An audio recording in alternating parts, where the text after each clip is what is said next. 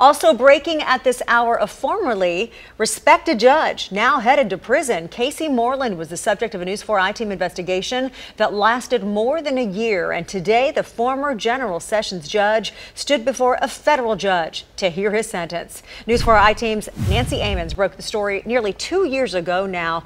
Tonight, she tells us how it all ends for Moreland. Nancy?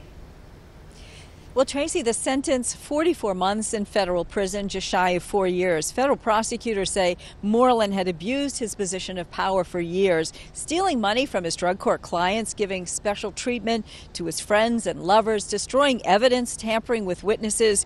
The U.S. Attorney's Office had asked Judge Waverly Crenshaw to give Moreland five years. He obviously got less. Moreland's wife was one of the witnesses who testified on his behalf today.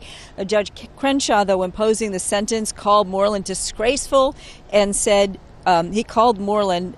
Uh, he said you have a reckless, self-centered mentality that you are above the law.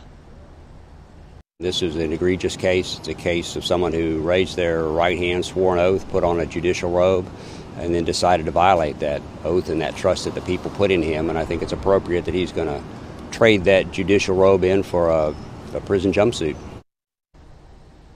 Now, Moreland talked to the judge today, addressed the court, apologized for his actions.